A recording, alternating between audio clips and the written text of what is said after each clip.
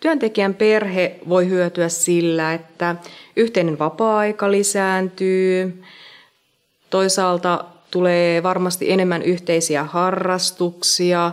Voidaan helpottaa ylipäänsä lapsen hoitojärjestelyjä ja, ja voidaan helpottaa sitä roolitusta myös siellä perheen sisällä.